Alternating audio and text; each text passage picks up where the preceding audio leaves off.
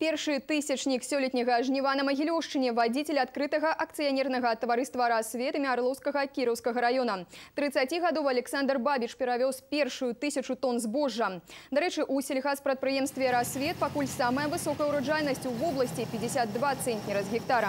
Да масавага жніва прыступілі больш за палову раёнаў Магілёшчыны. У лідарах Кіроўскі, Бабруйскі і Слаўгарадскі раёны, дзе абмалочана каля 10% плошчаў. Зараз убіраюць азімую пшаніцу. У горадскім, дрыбінскім, чавускім, хоцінскім, магілёўскім і шклоўскім раёнах зараз рыхтуюцца да выхада на збожжавыя палеткі.